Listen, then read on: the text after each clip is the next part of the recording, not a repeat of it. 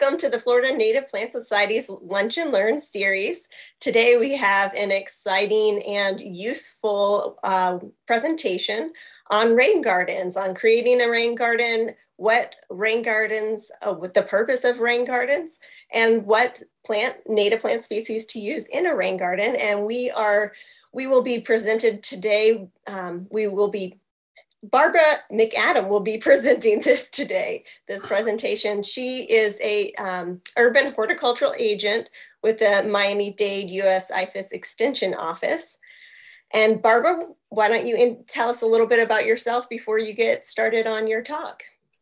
Okay, well, thanks for the promotion. Um, I'm actually not an agent, I'm a, a program specialist. Uh, Laura Vasquez is the agent in charge of our program but specialists in the fact that um, through the Florida Yards and Neighborhoods program and Florida Friendly Landscaping, and you'll see in the next slide, we're funded by Miami-Dade County Water and Sewer and several other folks.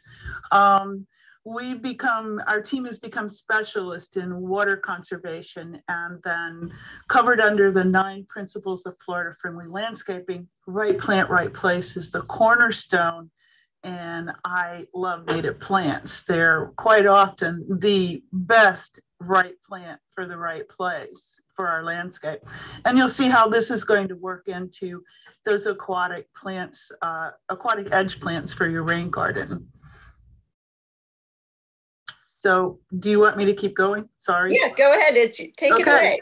All right, so um, we are funded by many, many sources, um, starting with the USDA uh, Farm Bill, which provides funds for the University of Florida, the Land Grant College in um, the state of Florida, um, U University of Florida, and Florida A&M. Um, so um, Primarily, we're funded by Miami-Dade Water and Sewer to do water conservation. We do an irrigation um, assessment program to for those folks that are using irrigation because a lot of water is wasted through that outside irrigation. So we're helping them to look at how how and what they're watering. And the Department of Environmental Resource Management, that is the guardian of our, our natural resources, Solid Waste funds us to do composting workshops each month, and we have free composters for Miami Dade County uh, folks. And we work through uh, the Department of Parks, Recreation, and Open Spaces, where within the Eco Division, these parks include natural areas and love working with the Environmentally Endangered Lands Program and the Miami Dade County Office of Resilience. Whew sorry. we wear a lot of hats and there's monthly reports and we copy everybody.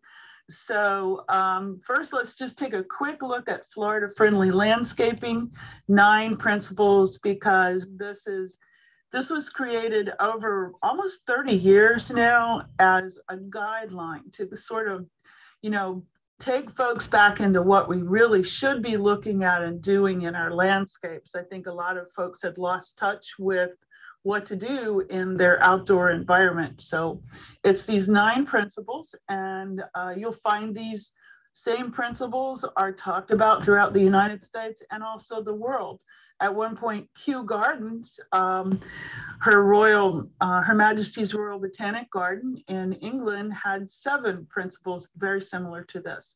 But the entire program was designed and created to primarily, and it's not advancing, don't tell me I got a slide stick. There you go. Um, it's it's to protect and preserve the the quality of our water resources. And we do this in all areas, uh, residential for new development, and also for those folks that are out there um, that are maintaining landscapes, whether they're uh, municipal or they're your guy who comes and takes care of your lawn. Um, and the, or they work for parks. So everybody um, gets a chance to learn this and the Green Industries Best Management Program also um, provides CEUs. So that's just the umbrella there. Sorry, this comes up often, and I would like to say that if we had been following uh, Florida friendly landscaping principles, I don't think we would see quite so many fertilizer ordinances that are needed, being needed to be put in place to curb the problems and issues with uh, too much excessive fertilizer use. So this is a, a, a, great little look at a Florida friendly landscape. And you can see how plants are grouped according to their water needs. You have trees that are providing shade to cool you from the heat of the day. They're on water, lucky them. And so they've got a buffer zone here. And of course, your best plants for that are native, right? And they've got a nice small little rain garden here as that water kind of flows down before it gets into this body of water. So a lot of interesting things to look here and I'm happy to share this with everybody afterwards and hopefully I'll, I'll be online to answer questions. But this is throughout the entire state of Florida in every county. So taking a look at um, some of the things you'll see a little bit i'll explain a little bit about the perfect storm that that drew me to this but i'm always reading um, you know messages and and uh, different information about water conservation. Epa is one of my go-to sources and they've had this soak up the rain program in new england for i think it's between five and eight years now it, it looks like they responded to issues when they had um, big events like Hurricane Sandy, and they started becoming aware that they were, were having these intense flooding issues during more frequent storms. And that area seems to tends to be getting hit more with storms. Actually, statistically, it is um, shown that hurricanes have been kind of traveling up that pathway. So this was a great source, but you'll find a lot of um, information on what is being done in New England. It's about time we got some things on this website. So nine principles, a shout out to Florida Department of Environmental Protection. We celebrated our uh, 28th anniversary this year. And this whole program, uh, well, it was last year. We're going to be 30 next year. This all started on a $75,000 grant from DEP. So that's just a little bit of um, information about that. And it was just a matter of recognizing where non-point source pollution was coming from, primarily from the cumulative effects of what we do in our home landscapes. We make a difference. We make a negative impact, but now that we know, we can make a positive impact. So a little bit about the, the rainfall patterns here in South Florida. And interesting to note, but um, this is ha- actually happening all over the world. It's kind of like a feast or famine situation where we have lots of rainfall, just, you know, rains really hard and a lot um, inches of rain um, within a short time, time frame, or we are where is the rain? We're in what I call the heart of the rainy season, which is those months that we're starting to get into that March, April, May for us down here in South Florida before rainy season kicks in. Days have gotten a little bit longer. They've gotten significantly longer and the temperatures are higher. We bump into 90 degree temperatures. It seems earlier and earlier every year. Last year, we touched 90 degrees for a brief period in February, but we're consistently getting some temperatures in the 90 degree range during the month of March. This is really stressful for everything out there in the landscape. And it will tell you immediately whether you've got a plant in the right place or not, because you'll start to see wilting under these conditions. Who knows in the future if this is going to progress into more extreme drought situations, but this is a trend. Sorry, folks, I hate to be the bearer of bad news, but we should be getting ready for this. Be prepared. So, even into June, into rainy season last year, we still had some little areas of drought hanging on, hanging on, moderate drought here in Miami-Dade County. That's where I am, by the way, all the way down here. um, and I monitor several sources. I'm always on the US drought monitor map. As we get into those months, I'll just be like biting my fingernails, especially as my rain barrels at home start to get empty.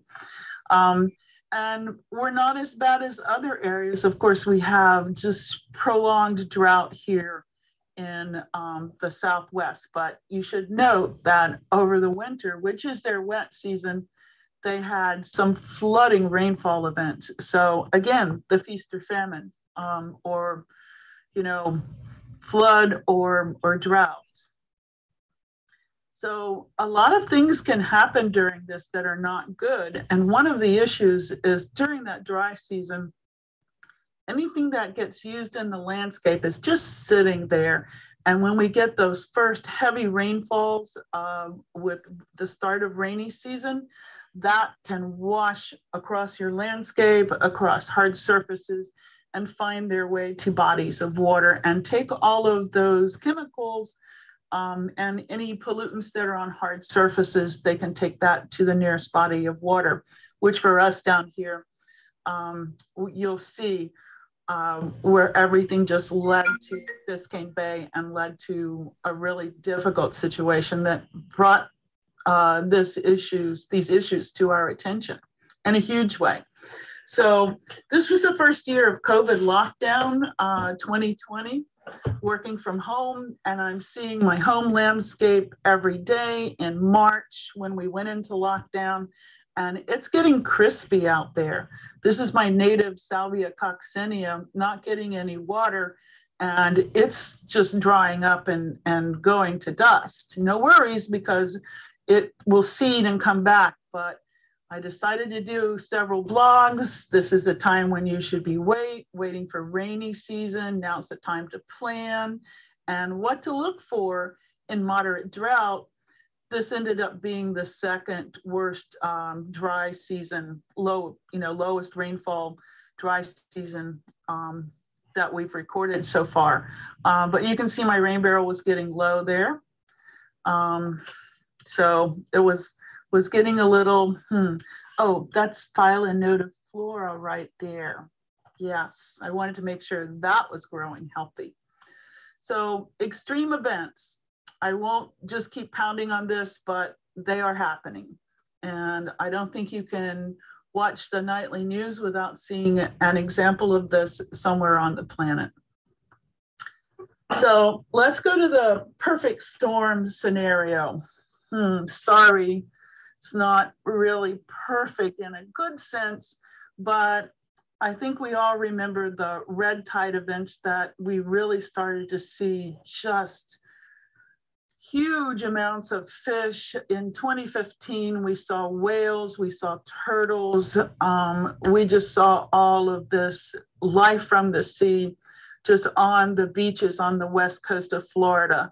Um, and this was the beginning of something that has is not really stopped. And red tide is, has happened in our past. It, it is also can it's somewhat of a naturally occurring um, phenomena, but it is increasing because of what it's running off into um, into the Gulf of Mexico. So following that, the next year we had the blue-green uh, cyanobacteria, the algae, the toxic algae in um, on the East Coast, and that was just a you couldn't get near the sludge. Uh, your eyes would burn. You didn't want to touch it, and this was extremely devastating and extremely concerning. Also, we have to remember what's our main source of income down here tourism, right? People love to come here because we have this beautiful environment but what, what's happening to this environment?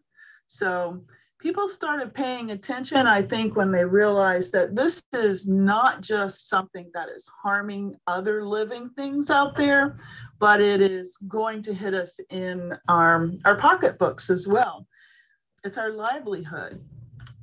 So, also, what happened that year of 2020, I got finally my chance to go to the University of Florida's Water Institute um, symposium. That was in right before lockdown. Thank goodness I didn't catch anything early.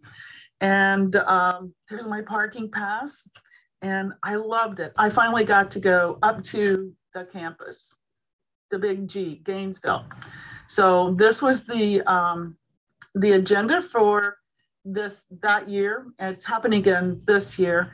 But you can see this was all about blue-green algae, all of these issues that we had been seeing, uh, water scarcity, impacts and contaminants, um, and sad to know that even our springs are contaminated by what seeps through. I'm always hyper aware of what is going to um, wash through our very wash through to our very shallow Biscayne aquifer here, and I know that it can it can run dry and or get very close to being at sea level.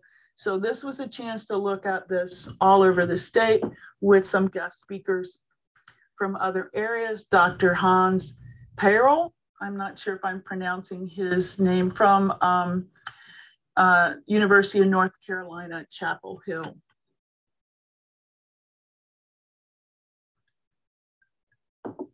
We need water. So his talk, um, I remember clearly this slide because I started following this, but he was looking at um, an area in the Pacific and asking, is this um, is this foretelling what the future is? And it turns out that it is, unfortunately. We have these uh, uh, blue-green toxic cyanoalgal outbreaks all over the world where we have just impaired waters everywhere. And um, there's, it's a huge problem, but the good news is there is a lot that we can do about it. So I come back from um, from all of this information overload at the um, Water Institute symposium. I mean, I was just I felt like my brain was was struggling to take it all in, but it it took and plus they made all of the presentations available and I took pages of notes and I'm like, ah, my brain's on fire. And then August, we have this in Biscayne Bay, right here in our own backyard. And, you know, now we have a website, we have a uh, chief bay officer, we have Biscayne Bay Commission, and we realized we don't have a BMAP. Folks didn't even know what a BMAP was. It's looking at the nutrients and what is in the water, and it looks at also we're specific down here. We're, of course, unique. So we need, Biscayne Bay needs its own specific BMAP of what this unique environment of the bay needs to stay healthy. All of that is done or in the works, and everybody's pulling now you know like the proverbial sled dogs in the harness let's go we can we can do something about this and some of the things could be low hanging fruit, like what you do in your own backyard. Others are going to be way more expensive, like converting septic to, to municipal sewage um, connections. So again, a round of blogs. Um, Protecting Biscayne Bay series. I just listed out what do we need to talk about and i had the advantage of looking at some of our publications and having just come back from this symposium and um, just writing articles and just getting that information out there. And I was speaking with Valerie before we started. Um, when we went to COVID lockdown, we had to work through off the Gator Cloud, and we all transitioned to doing these presentations through Teams rather than Zoom, which we might be more familiar with. But Zoom, because of the program they created with University of Florida, had a the capability of reaching 10,000 people. And I was like, please, yes, 10,000 people. It's yet to happen. We've yet to get more than 300 people, but you know, we have what 2.7 million people here in Miami Dade County. So I'll just keep talking and doing it over and over again. And I thank you for the opportunity to talk again today. So this has not gone away. the red tides and the blue green algal um, and fish die-offs have not stopped. So they're just sometimes they're less, and when they get really big, it's going to break through into local media. But those of us in the environmental um, arena are hearing about them. They're week through weekly reports, and we follow it. And of course, in a perfect world, we would all be building new construction using low impact development practices. This is just from the university, um, the Department of Ecology, State of Washington, sorry. And it's talking about bioretention, rain gardens, permeable pavements, so not hard surfaces that, you know, don't allow the rain to percolate through to the ground and just an interesting fact that the majority of us all get our drinking water from aquifers. We're not pulling it out of the streams or rivers or out of the ocean. Um, it's, it's aquifer water. I'll be doing that rain barrel workshop tonight. So all of these methods, and this is coming up time and time again. Here's Utah, lovely development. Uh, they've disconnected the hard surfaces, so there's not a continuous path for this polluted stormwater to run off on. And, you know, another, here you go, rain barrels, yay. Uh, grassy swales, uh, rain gardens. It's it's over and over again the same information: green, um, greenways and blueways. So these are simple practices, and the the aim of all of this is to get as close to zero on rainwater that runs off of your your property or you know your home or your park or your business um, your church all of those places. Um, we want to make sure that we keep that that rainwater let it recharge our water resources because when it moves over these hard surfaces it's going to pick up pollutants and it's going to travel to the nearest water body. So I'm not going to belabor this. You know, this is this is my soapbox. um, it's so easy. We have the solutions. We just need to change how we're doing things. Yes, and of course, this is talking about new development. What do you do when we have these already dense, uh, densely developed um, urban areas? That's a whole different uh, animal. That's a horse of a different color. So there you go. We want to mimic the natural water cycle. We don't want to mess with that natural water cycle after all, because that has taken millions of thousands of years, sorry, to develop. Um, and it works perfectly in sync with the plant life and the animal life when we go in, um, then we upset that balance and we can create issues where we don't have the plants that are taking up those nutrients. And those nutrients are going to end up accumulating down the line. I think it's pretty kind of hopefully you got it a little simplified. So one of the things that the Office of Resilience started looking at and was this um, Arcola Lakes area. And this was already a grant project um, that the Department of Parks, Recreation, and Open Spaces had gotten grant funds for. Um, this area, you can see the little river here, it continues and empties out into Biscayne Bay. And that whole area along the, the bay is some of the most degraded water where we saw a a lot of dead fish. And it's also an area that was built a long time ago, one of the first areas developed in Miami. And um, it has septic systems. So we're looking at what we can do to make sure that water along this uh, little, little river, excuse me, doesn't end up flowing off of all these hard surfaces um, in the in the to the west, or as we would call this, the upstream um, situation. So what can we do in this area? So Arcola Lakes was selected because you can see this low-lying um, area. This used to be part of the Everglades. and it was a slough, which would be a low-lying area, kind of wet um, for definitely for the rainy season, and pretty much a lot of the year, this would have been these areas in blue would have been wet and swampy. So this is a look at the park. Here's the bioswale that Miami-Dade County Parks, Recreation, and Open Spaces had contracted to be constructed. And our part in this, there were many partners in this, including Million Trees Miami. Plants, uh, trees were selected that would um, survive in, in those moist, wet conditions and planted along this area. And they were like all native, yay.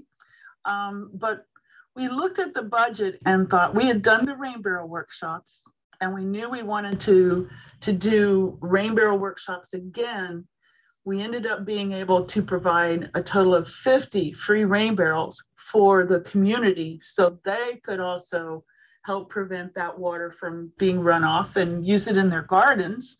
And we also got to give away plants to them, which was super cool.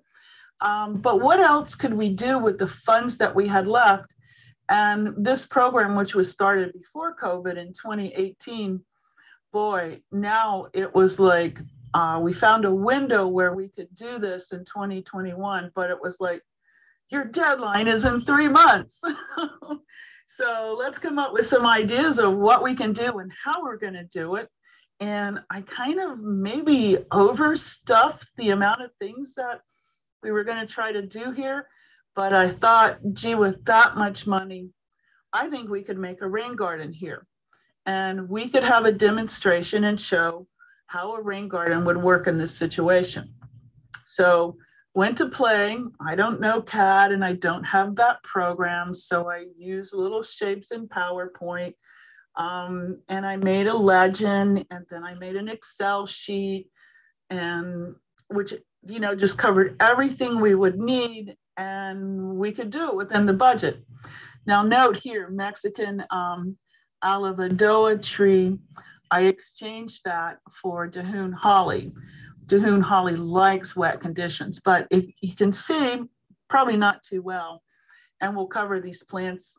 Um, but these were all natives and they needed to be. So looking at the site, there's Dalton, Stacy, um, oh, I'm going to forget names. I knew I would. Laura, uh, that's Linda behind here we had this core team and we brought in staff from Arcola Lakes to do the groundwork two days before we had an excavator there. This was the original location, but they're doing some work here. So I couldn't use this beautiful little depressed area. I had a hump here. And so now I needed to come over here and excavate this a little so I could try to stop it from going here or onto the sidewalk. So you can see that in the background. Maybe when they finish here, we can expand the rain garden and go here. So this is pretty much the fledgling rain garden, which got put in in September, which is late for us in our rainy season.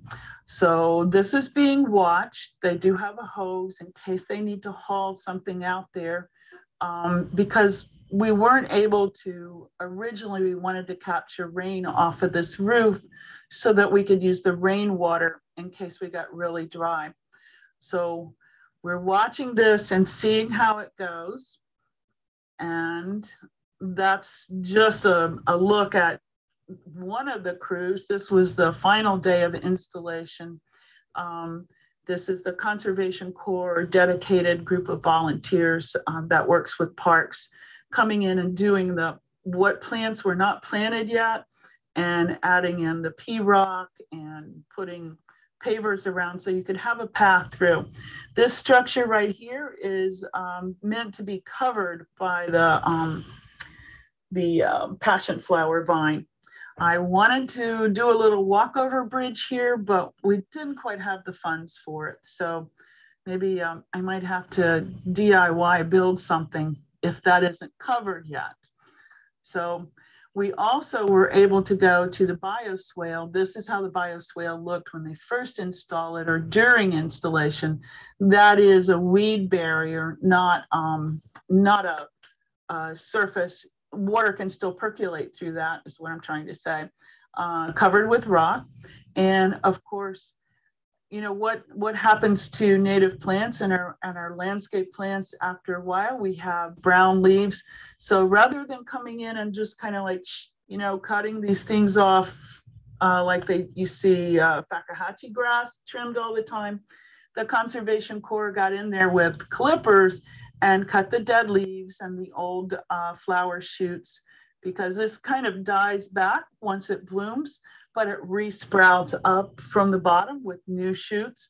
So it's a little bit of maintenance. And, you know, we don't always have time for that hands on touch. I enjoy that in my garden. I'm out there, the birds will be everywhere and the butterflies. So that's my Saturday morning if I'm not doing outreach, is communing with nature in my garden.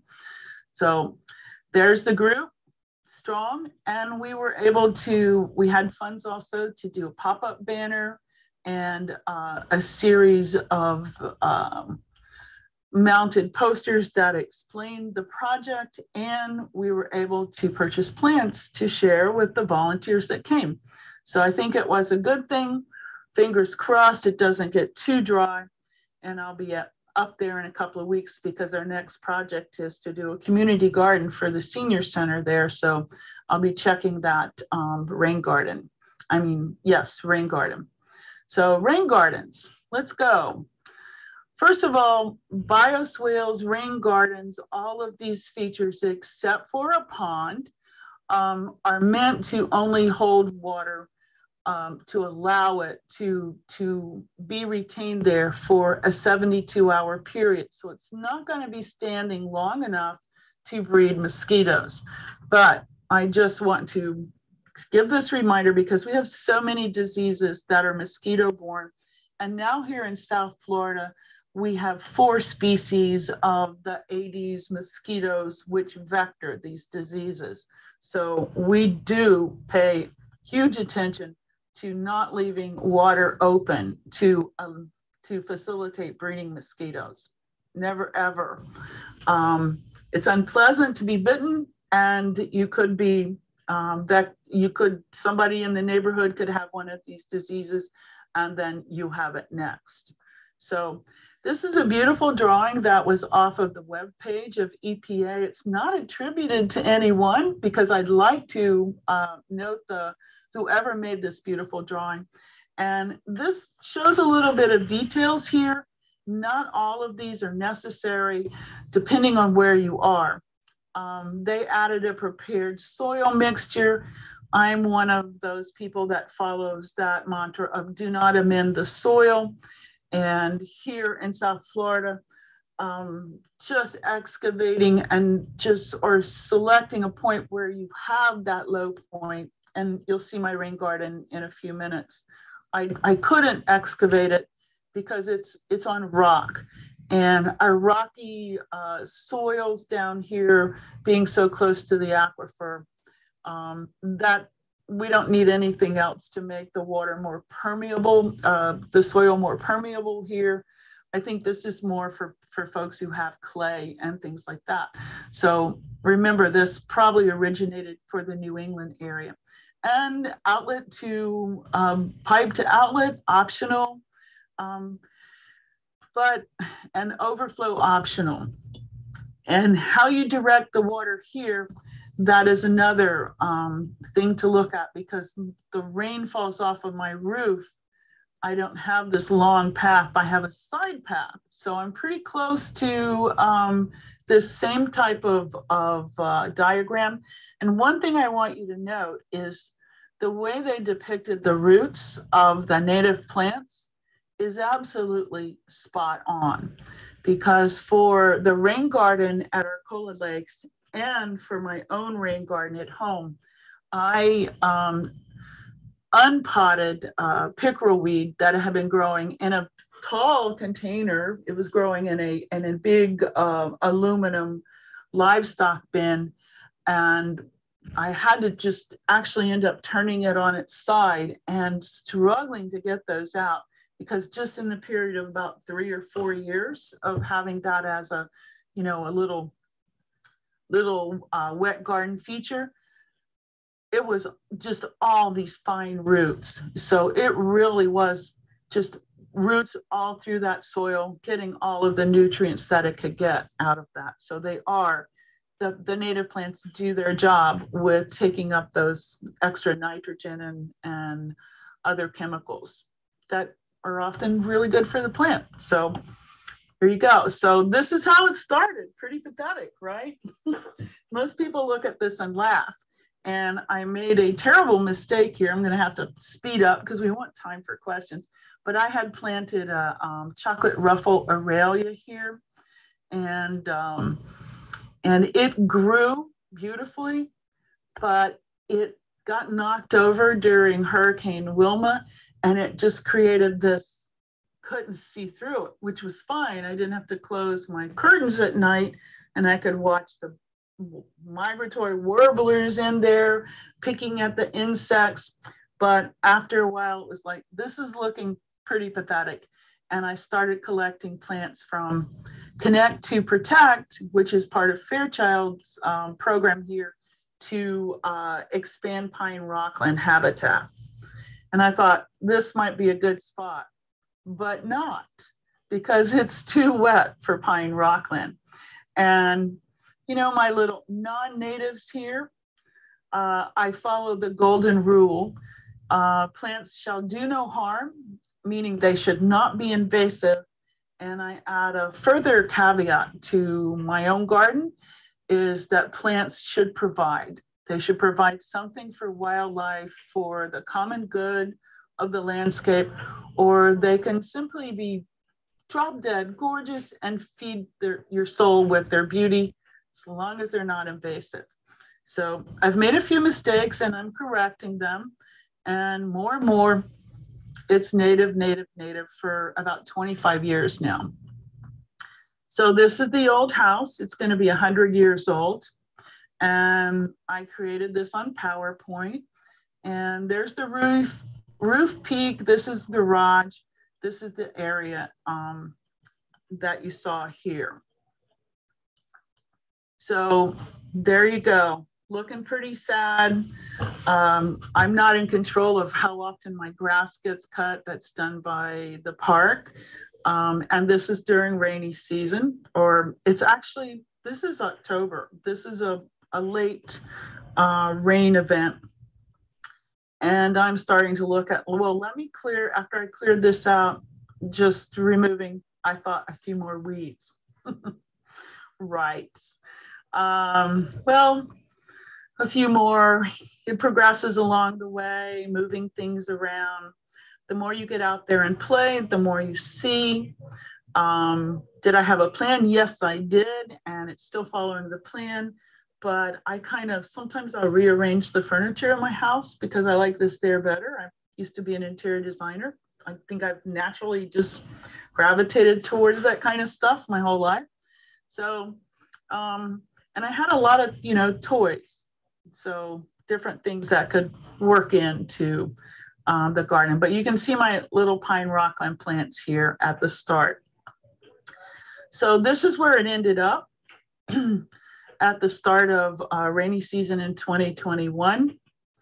And I took a look at it and said, what do I want to do at the start of rainy season? Look how weedy that is, but it's great for butterflies.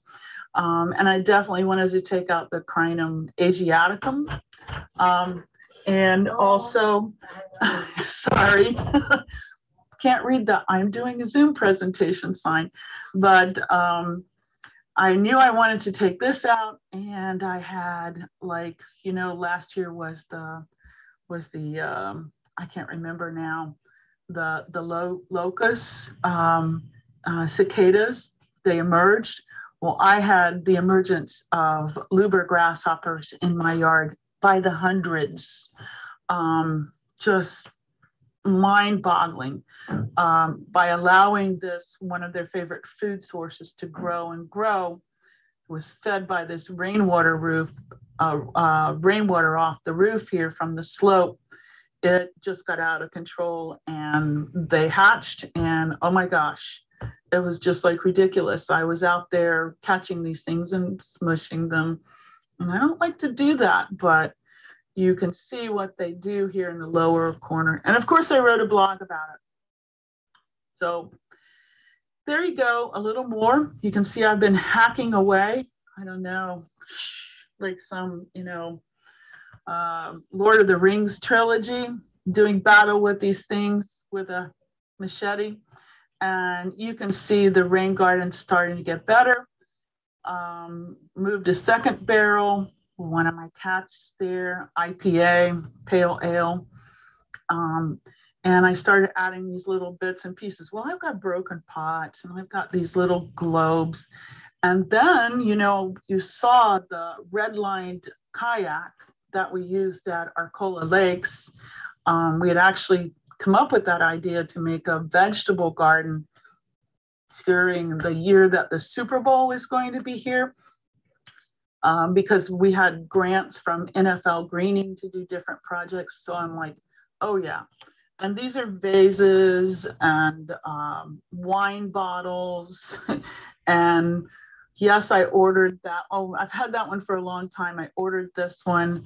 One of my favorite pots got broken after Irma by the plumbers. They backed over it. You know, what can I do? And I had this leftover paint. This is one coat. The verdict is out on this color. Um, but I had this turquoise and blue and yellow thing going. It might be a little too much, but I'm waiting for this to all fill in again, as it will. This is how it looks now. I'm okay with this. I could do a little more neatening up. I could put some more um, pine bark nuggets here or pea rock. Um, it's okay with me that it doesn't look absolutely pristine. I don't expect it to because I know it's dry season and it's going to get even drier. So this is how it looked. Um, that first rainy season, you can see that the pickerel weed is bursting out of the seams. And again, when I first got it's, it's starting to get chlorotic because there's not enough soil there. So there they are in the background in full purple glory. And a little bit of homage when I was looking at doing this last year, I found this on the internet. Just a little curbside or elongated rain garden.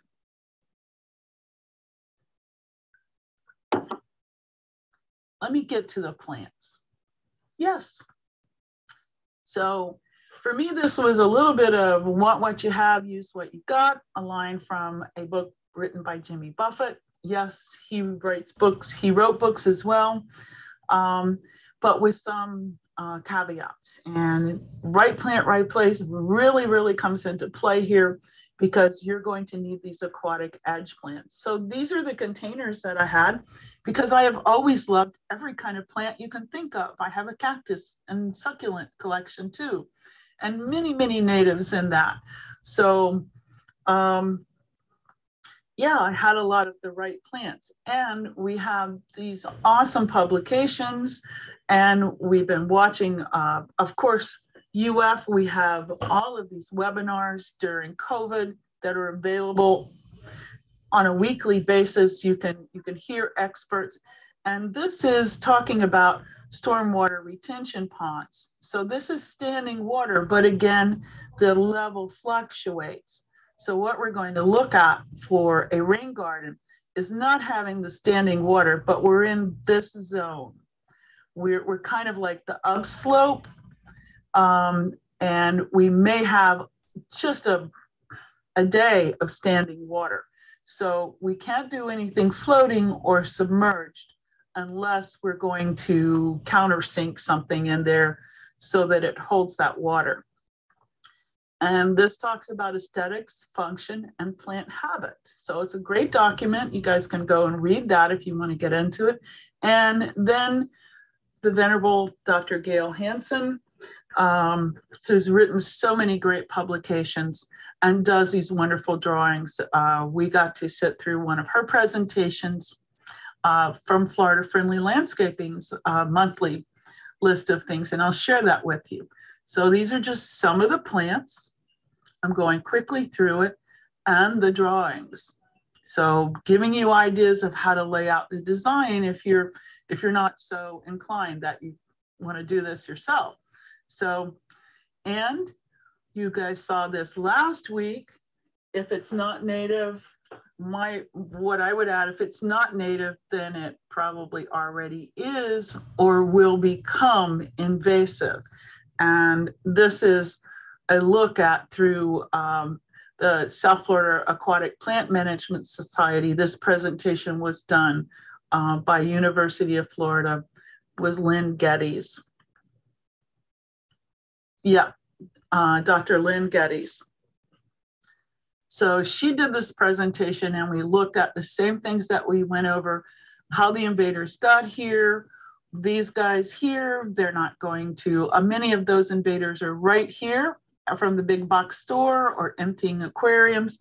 And it really gets serious uh, when you start talking about aquatic edge plants or aquatic plants invasive plants in aquatic environments because you what can you do? I mean to resort to chemical control is not even feasible and this is biological control. Here's the water hyacinth.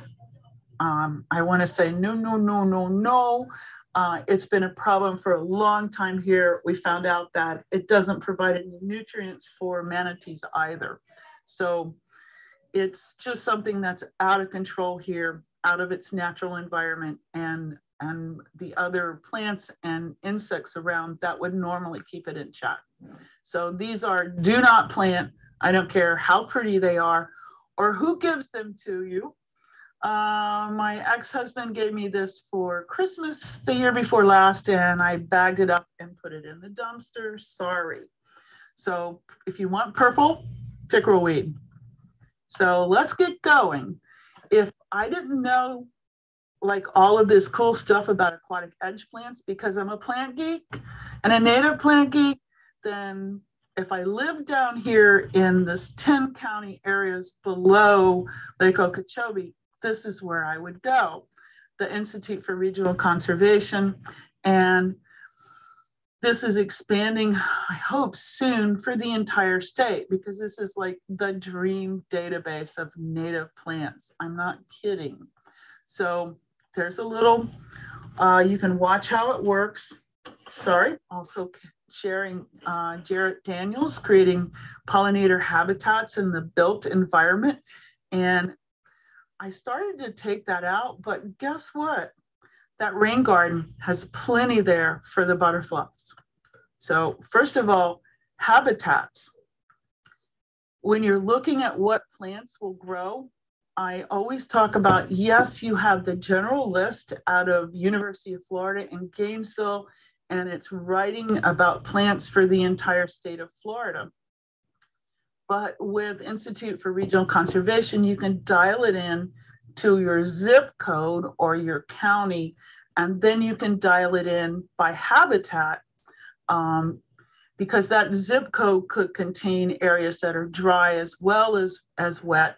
But I would look at these different types of habitats that you can find within your area and look at the plant list for there.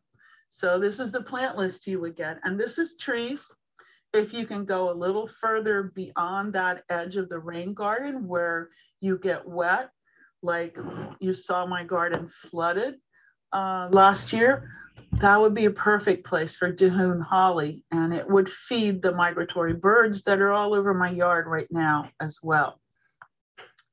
So I have already Hymenus uh, latifolia, which the lubber grasshoppers like to eat as well.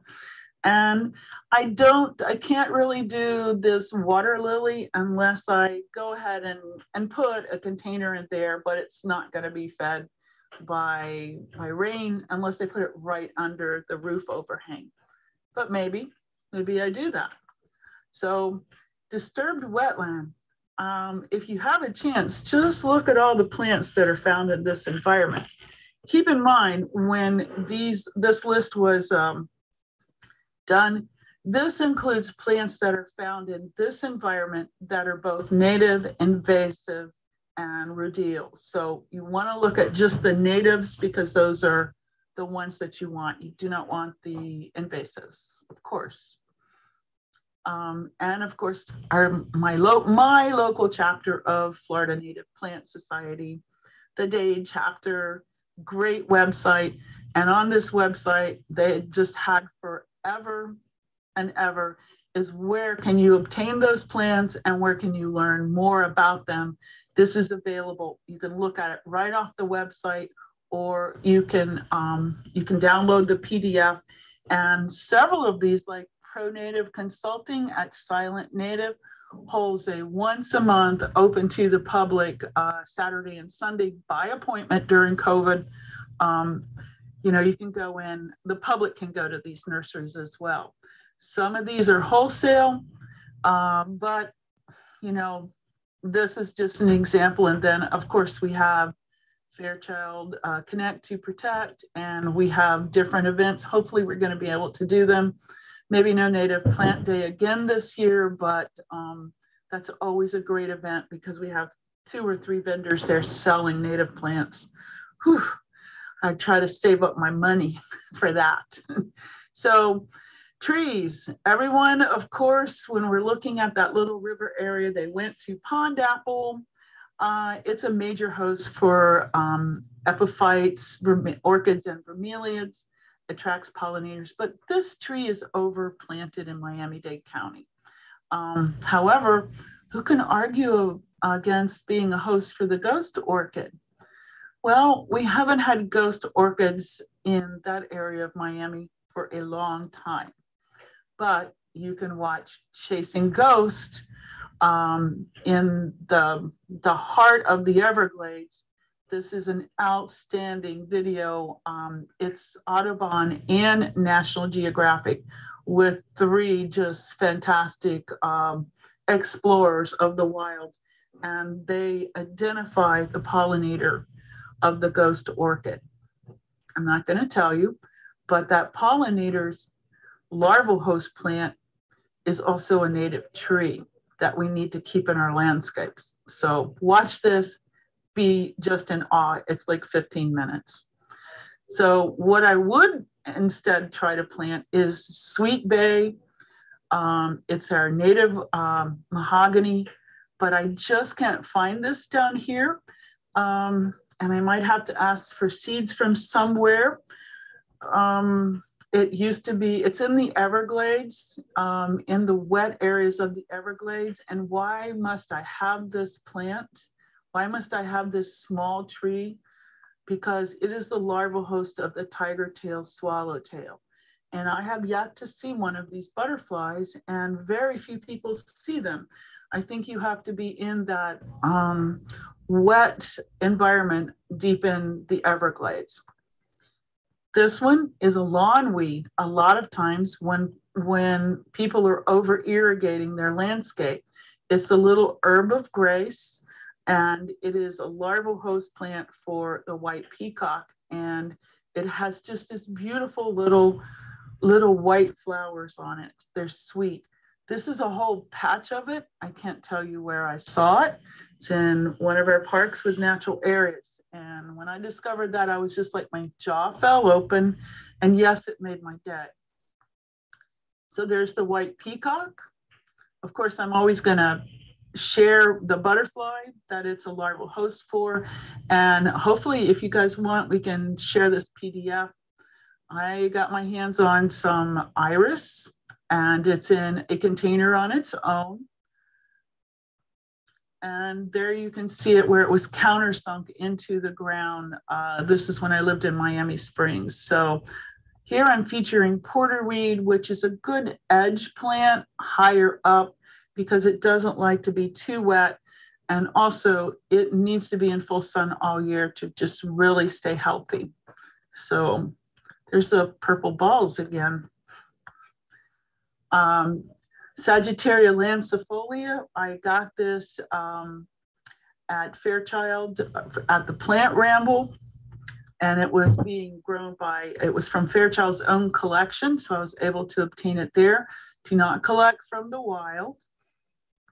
And there it is growing in a container before I started moving it over to my rain garden. And pickerel weed also got this from Fairchild, um, Ramble, from their own collection. And this is just your most incredibly beautiful purple. Um, it is a, a, nectar source. I see dragonflies alighting on this for nectar. I see uh, little skipper butterflies on this all the time. And it's just amazing when it's in flower. And if you've ever gone across Paynes Prairie in the summertime, it's purple with pickerel weed. And a little um, Kiss Me Quick is the name for this. And it, it since it's a succulent, it can take a little bit wet conditions, but it's a good filler plant to fill in between the rocks um, that you might use around the edge of your rain garden. And I got this at uh, Native Plant Day. I'm going to tell you, I got all of these pretty much from Native Plant Society. and um, uh, uh, frog fruit, it grows in the lawn. It'll pop out during rainy season. And also now many nurseries down here are selling this. Yay. So folks can buy it. And larval host for three different butterflies, nectar for so, so many plants. There you go. And that's how small it is. I know I'm out of time. Fakahatchee grass, why this grass? Because it's a larval host plant of course. Muhly grass because it's beautiful. Blue-eyed grass, be still my heart. And there it is growing in another red-lined kayak. We painted orange for its gator orange. And I have to just go through. This is one of your rain lilies that is native that grows up in central and northern Florida roadside. And I just want to say, it's Valentine's Day on Monday. So instead of uh, buying flowers, which only last for a brief time, how about a native plant? I mean, violets are blue, roses are red. Um, there's a poem about this. And New York Restoration Project also talked about this. Skip the store, skip the florist. Sorry, guys, maybe they'll sell more native plants. Plant pollinator friendly perennials, I would say plant native pollinator friendly perennials. That's it. Flip My Florida Yard. Shout out to the um, the Villages chapter. You got to watch this.